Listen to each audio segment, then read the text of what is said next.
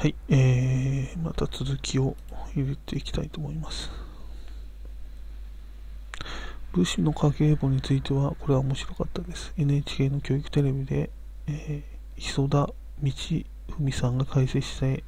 したのをきっかけに本を読みました。非常に面白かったです。昔、えー、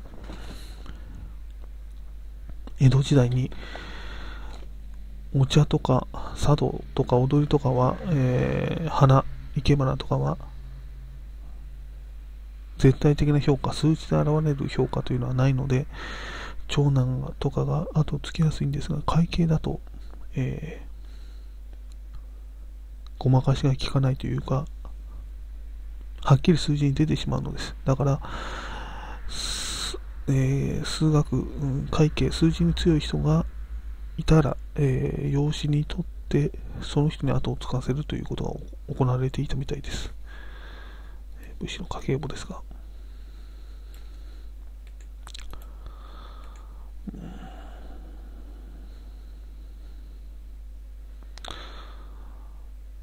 ああ、まだこれは裁判員制が始まっていない時のことですね。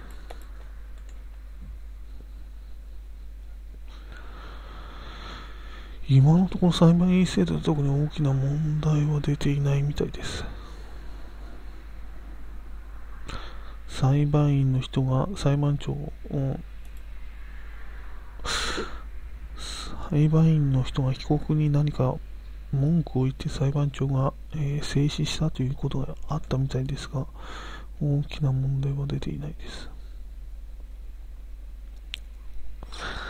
この日曜討論についてもえー、音声レビュー、音声ブログで載せてみたいと思います。うん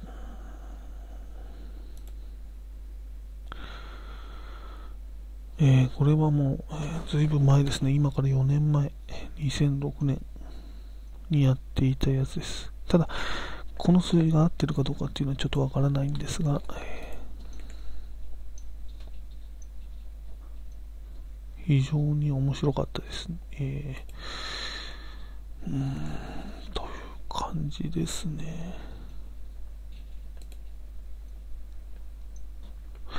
まあ、この案内はざっと、ページがあるので結構ざっと、どうなんだ、1時間ぐらいでもかかってしまうのかな、音声だと。えー、まあ、とにかくやっていきたいと思います。ちなみに石田太郎さんというのはコロンボの声をやっている人です。初代は小池正夫さん、幸男さん、小池幸男さんか正夫さんだったんですが、今石田太郎さんです。もうコロンボも新作は作られていないので、2代目の石田太郎さんで、3代目のコロンボの声というのはもうないかなと思いました。うんまあ、ここにも書いてありますが、うん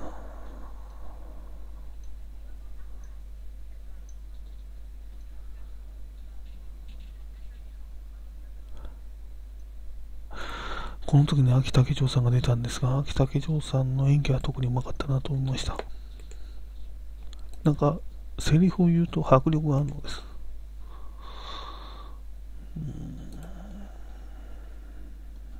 これについても、後でもう一回ビデオを見て、DVD を見て、えー、詳しいレビューを書いて、詳しい音声レビューを載せてみたいと思います。今、この竹崎さんというのは、えー、事務総長から、えー、最高裁判所の判事裁、裁判長にはなってないんですけど、最高裁判所の、えー、判事かなんかになっている人みたいです。そこでまざっといきます。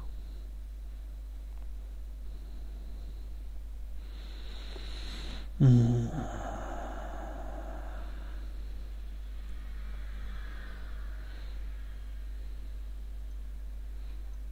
大事なところが赤く書いてあります。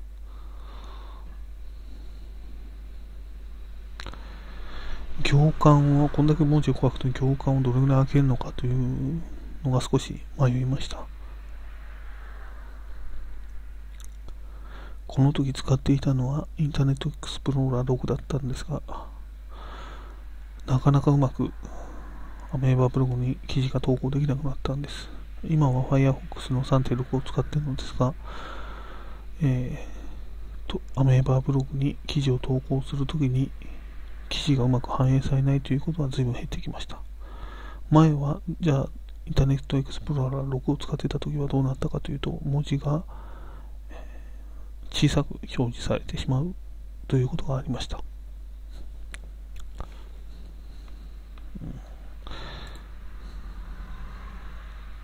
またこういう言葉っていうのは、不は随、不は随行、やじむが騒ぎ出して、騒ぎに乗じて暴力を振るうこと、遊女する寛大な心で許すこと、そんだったら寛大な心で許すことと言えばいいんじゃないかなと思うんですが、うん、因面調書。警察官が作成した供述調書。うん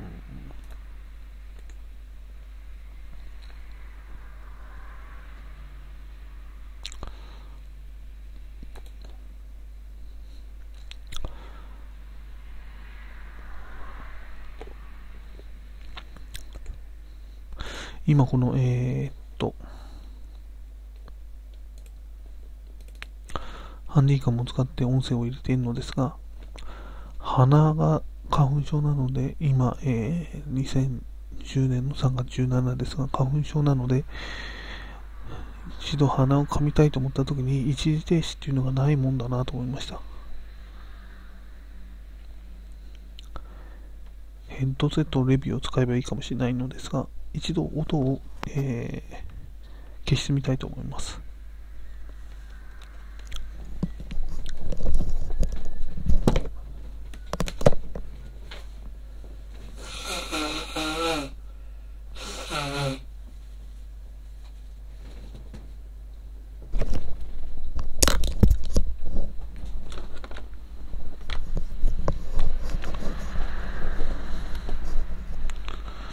ピーカーの音は消したはずなんですが、音はなんか入ってしまったみたいです。ここの青いゲージが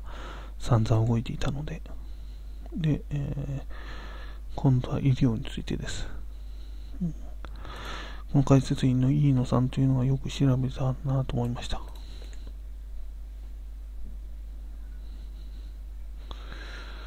うん。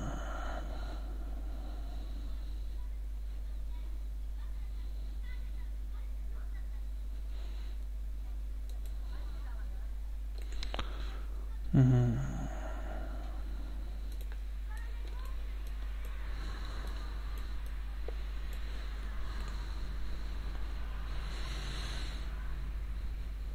うん。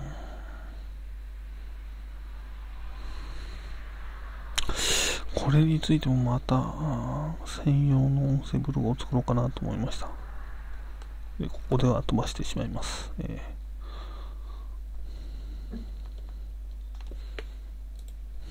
で、2ページ目です。2ページ目も続きなので、えー、飛ばしてしまいます。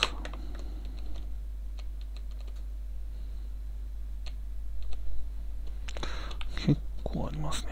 えー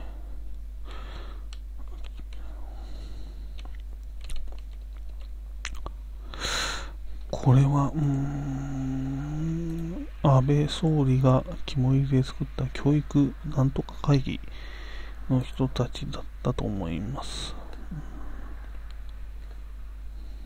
結局これはあんまり成果出さないで終わってしまったような感じがしますが、まあこれも後で専用の音声レビューを後で作って載せてみたいと思います。ただ随分先になってしまうかもしれないんですが、うん、あ、と、2007年のブログですね。ここから日記形式で続いていいと思います。この記事を書いたのは1月だと思います。1月26からですね。ちょっと文字が小さいので大きくしたいと思います。